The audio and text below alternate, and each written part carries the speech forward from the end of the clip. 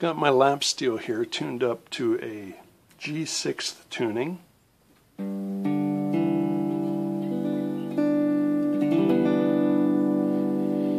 Has a real nice sound to it.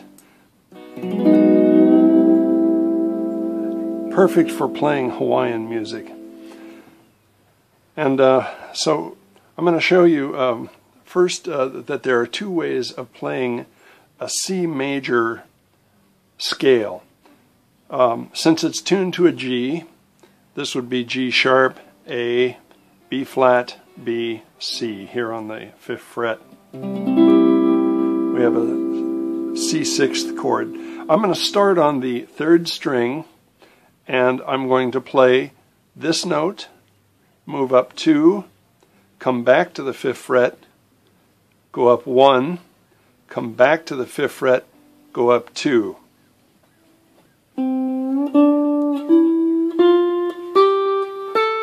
Then up two more, and one more.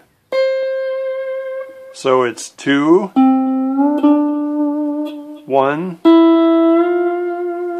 two, two, and one.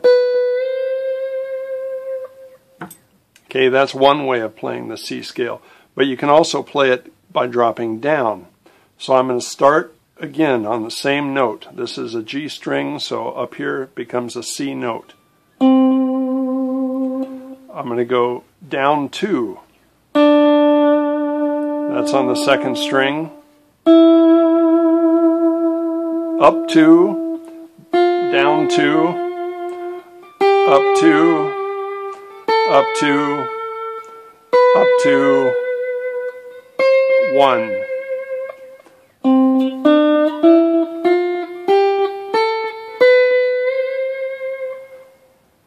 One, up two, or down two, up, down two, up, up two, up two, and up one.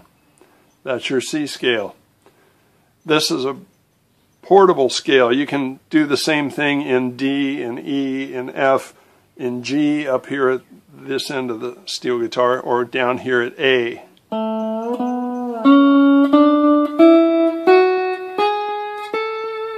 Or playing it below the A line.